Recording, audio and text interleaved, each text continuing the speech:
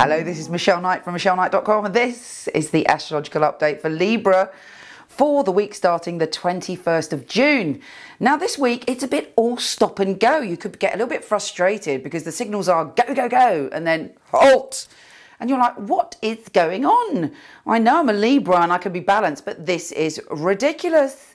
And that's basically because we have Mars in the ninth and that is square Neptune in the sixth.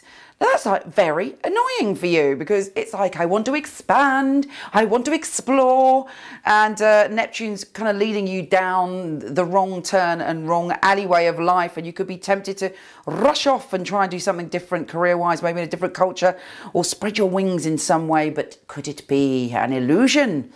Now, the very, very good news is that we have Sun in the 10th and it's trining Neptune in the sixth. So this is a completely different information. And you're like, my goodness, you know, which way, if I put my little antenna up, are the planets trying to lead me? Because obviously, with Sun in the 10th, you're like, yes, I'm feeling very confident about my career, and you know, and and I'm, I've got some quite good ideas.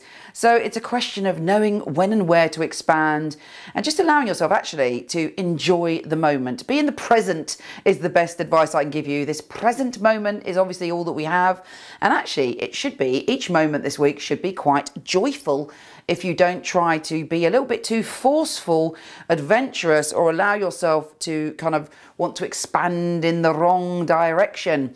You can do it. Take advantage of it. Be, be loving, be free, be happy. Think about what you want to do. Dream about what you want to do, but don't necessarily leap into any adventure if you get warning signs. Now, as an air sign, you often intellectualize your desires.